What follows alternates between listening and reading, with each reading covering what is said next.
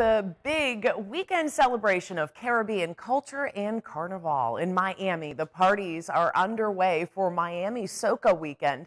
It'll be jam-packed with almost a thousand people celebrating soca music, Caribbean countries, and also J'ouvert. Our USVI News, Ali Bourne-Vanek is there.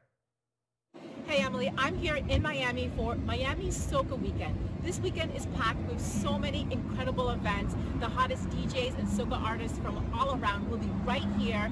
This here is where Soca City is kicking off on Friday night.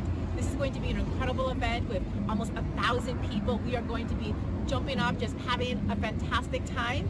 Then we'll have Paintopia J'ouvert on Saturday, a Flag Frenzy party, and so many more events. These events are happening as Trinidad is also having their carnival events. So there is just so much celebration of the Caribbean region. I can't wait. I will have a full recap next week. In Miami, Ali Bourne-Vanek, USVI News. Oh, looks like she's going to have a great time. Looking forward to that report, Ali. Have fun.